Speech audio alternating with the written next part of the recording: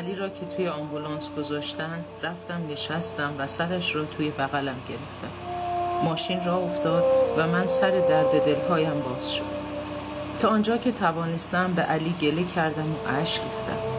گفتم بابا گفته بود تا تو بیایی من مسئول دا و بچه ها باشم. تو چرا اینجوری گذاشتی و رفتی؟ حالا من با این بچه ها چه کار کنم؟ جواب دا را بعد این همه چشم انتظاری چه بدهم؟ نوازشش می کردم دست توی موهایش می بردم دیگر علی را طوری نشانده بودم که تا سینهش در آغوشم با اینکه خون روی زخمهایش خوش شده بود ولی هنوز به زخمهایش دست می زدم خون می لباس فرم سپاهش پاره پاره و خونی بود. لحظه مرگ علی من هم باید مرده باشم. هر بار که علی به خانه می آمد نفس راحتی می کشیدم و می گفتم خدایا شکرت که تا حالا شهید نشده. و باز با رفتنش دلشوره به جانم می افتاد. یک بار دا به علی گفت علی از سپاه بیا بیرون. هر کس توی سپاه بره شهید میشه. تو بیا بیرون. برو جهاد سازندگی. هر جا می‌خوای برو. فقط توی سپاه نمان. من همیشه دل واپسم علی یک دفعه عصبانی شد و گفت مگه مادر عباس نگران عباس نبود؟ مگه مادر موسا دلواپس نمی‌شد؟ مگه اونها خانواده نداشتن؟ من آنقدر توی سپاه میمانم تا شهید بشوم. همه این جریانات که یادم میافتاد خون گریه می‌کردم همه کسانی هم که توی آمبولانس بودن زار می‌زدن. دایی مرتب التماسم می‌کرد. دستانم رو می‌گرفت و میبوسید و می‌گفت زهرا جان بس کن دیگه. من الان میمیرم. اینقدر بیتابی نکن. تو رو خدا من دیگه طاقت ندارم. به شهر که رسیدیم گفتم بریم مسجد جمعه. خواستم از مسجد جمعه مطمئن نشم دار رفته است. آمبولانس ایستاد جلوی مسجد. دایی کمکم کرد پیکر علی را از روی پاهایم برداشتم. توان بلند شدن نداشتم. احساس می کردم کمرم نصف شده. به سختی پیاده شدم. آقای ابراهیمی شماره جنت آباد را گرفت و گوشی را دستم داد. لیلا پشت خط بود. گفت من و زینب خانوم و آقای سالاروند دا و بچه ها را بردیم. آقای سالاروند پیکانش را آورد و آنها را تا ایستگاه دوازده آبادان رساند. زینب خانم دا را سوار مینیبوس کرد که به سربندر می‌رفت. بعد پرسید تو کجایی؟ میای این طرف؟ معلوم بود از رفتن دا ناراحت است. گفتم دارم میام آنجا. این را گفتم و گوشی رو گذاشتم. آمدم بیرون. دخترهای مسجد آقای فرخی ابراهیمی و خیلی های دیگر کنار آمبولانس ایستاده. علی را دیده بودند و داشتن گریه می‌کردن خیلی سعی کردم خودم را حفظ کنم. رفتم سوار آمبولانس بشم. خطاب به جمع گفتم شما چرا گریه می‌کنید شما باید به من دلداری بدید نه اینکه بیستید و گریه کنید امروز روز عروسی علیه. خودش گفته روزی که شهید بشم روز دامادی منه. پس همه شادی کنید. علی به آرزویش رسید. این حرفها را که گفتم جمعیت بیشتر منقلب شد و گریه و ناله سر دادن آمبولانس را افتاد. دوباره سر علی را در بغل گرفتم. یاد دا افتادم. الان که علی وارد شهر شده دا کجاست؟ کمی بعد به جنت آباد رسید حسین عیدی در آمبولانس را باز کرد. دیدم زینب که منتظر ما بوده به طرف آمبولانس میدود. خودش را می‌زند به سر و سینهش میکوبد. اشک میریزد و بلند بلند می‌گوید. مادر جان شهادتت مبارک. علی جان عروسیت مبارک. برانکارد آوردند و علی را رویش گذاشتند. زینب کمکم کرد پایین بیایم. دیدم پاها و دستانم که زیر سر علی بود خونی است. دلم ریش شد. فهمیدم حتما پشت سرش هم ترکش خورده. چند تا از بچه های سپاه چند نفر از نیروهای مردمی که آنها را توی مسجد جامع دیده بودم قبل از ما خودشان را به جنت آباد رسانده بودم چند نفر از کارکنان شهرداری را هم به نشان دیدم. علی را به سمت قصال خانه بردم. پرسیدم کجا میبریدش؟ گفتن می‌خواهیم غسل و کفنش کنیم. گفتم ما که آب و کفن نداریم نمی‌خواهد غسل و کفنش کنیم. گفتن ما برایش کفن تهیه کردیم آب هم آورده ایم گفتم چرا پارتی بازی می‌کنید؟ گفتن پارتی بازی چیه؟ هم آب هست هم کفن می‌خواهیم غسلش بدهیم. این را گفتن و علی را داخل قصال خانه بردن. دیگر نه کسی را می‌دیدم و نه چیزی میشنیدم. نمی توانستم آنجا بیستم. راه افتادم. به کجا؟ نمی‌دانم. آشفته و سرگردان راه رفتم و راه رفتم. نمی‌دانم چقدر گذشت. صدایم کردم. پشت در قصال خانه رفتم. گفتن لباس های برادرت رو چیکار میخوایی بکنی؟ گفتم نمی‌دانم. کجا ببرمشان فکرم کار نمی‌کرد. میترسیدم خانه ببرم. ممکن بود کسی آنها را دور بیندازد مانده بودم چه کار کنم. گفتم بیاوریدشان لباس های علی را گرفتم و بوسیدم. یکو تصمیم گرفتم این لباس ها را هم مثل لباس شهدا دفع کنم. منتها آن لباس ها را برای از بین بردن دفع می کردیم باید اینها را طوری خاک می کردم که وقتی خواستم آنها را بردارم. هم بدانم کجاست هم از بین نرفته باشم.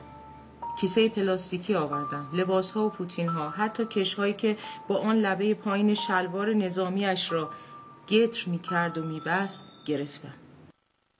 رفتم زیر یکی از درخت های جنگل کوچک آنجایی که شاخه های درخت های بیار توی هم فرو رفته بودن.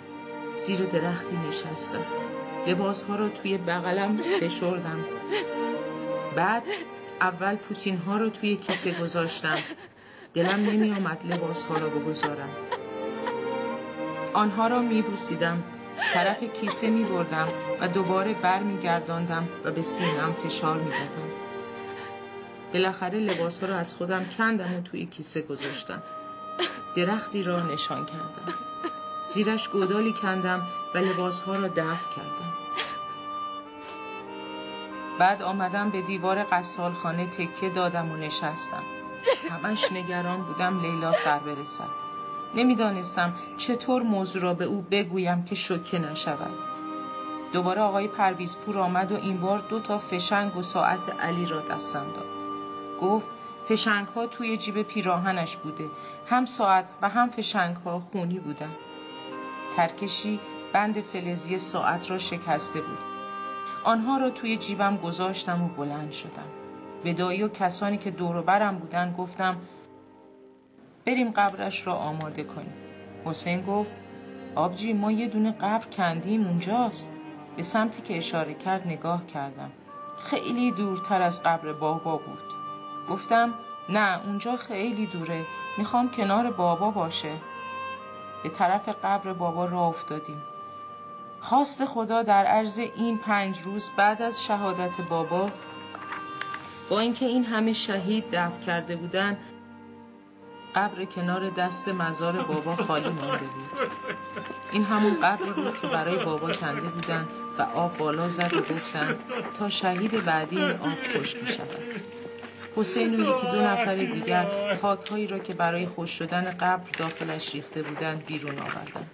من هم سر خاک بابا نشستم و توی قبری را که تا چند لحظه دیگر مال علی می‌شد نگاه کردم. کمی بعد جنازه علی را توی تابوت گذاشته بودم و می آوردم توان بلند شدن نداشتم آرزو کردم کسی آنجا نبود و من آنطور که می سوختم می توانستم آتش درونم را بیرون بریزم توی مسجد بعضی از سربازها را دیده بودم که دوستشان شهید یا زخمی شده و آنها خیلی بیتابی می‌کردند. حرفها و کارهایشان روی بقیه اثر بدی داشت. من با تمام رنجی که داشتم نمی‌خواستم مثل آنها باشم. وقتی تعشی کنندگان به انتهای جاده خاکی رسیدن بلند شدم و به پیشواز علی رفتم. کسانی که تابوت را بلند کرده بودند راه را برایم باز کردند و من از اول تا آخر تابوت را دست کشیدم و بعد زیرش را گرفتم به طرف قبر که آمدیم صدای علی در گوشم میپیچید. وقتی دا به او می‌گفت علی کی عروسی تو رو ببینم؟ می‌گفت عروسی من روز شهادت منه. وقتی مرا به طرف قبرم می‌برند من به هجلم وارد می‌شوم. من دوست دارم با خونم خزار کنم. اصلا متوجه اطرافم نبودم. هیچ چیز را نمی‌دیدم. پاهایم یاری نمی‌کرد. چند بار پایم پیچ خورد و به زحمت تعادلم را حفظ کردم. تابوت را کنار قبر روی زمین گذاشتم. دیگر دلم می‌خواست کفن را باز کنم و صورتش را ببینم. ولی اطرافیان اجازه این کار را ندادن. گفتن حرمت دارد. همانجا چسبیده به تابوت نشستم. دایی سلیم دیگر توی حال خودش نبود. مدام کنار جنازه می نشست و بلند می شد راه می رفت و همینطور که بلند بلند گریه می کرد می گفت ای خدا به مادرش چی جواب بدم؟ شاه پسند کجایی؟ پسرت بدون تو رو یک لحظه سرم را بالا آوردم تا به دایی چیزی بگویم. دیدم لیلا از دور می آید. هول خودم را جمع و جور کردم. اگر لیلا مرا در آن حال می‌دید بلا فاصله می‌فهمید این شهید حتما عزیزی است که من اینطور کنارش قرار گرفتم. نمی‌خواستم لیلا یک دفعه با این صحنه روبرو شود. بلند شدم. از علی فاصله گرفتم. لیلا نزدیک شد و تا مرا دید با حال خوبی گفت سلام دا رفت گفتم سلام. نگاه دقیقی به صورتم کرد و پرسید چی شده؟ ساکت ماندم پرسید شهید آوردن؟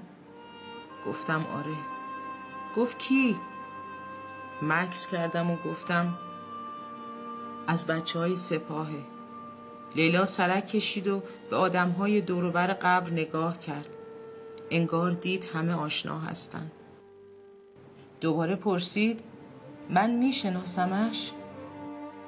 گفتم آره فکر می‌کنم می‌شناسی پرسید اسمش چیه؟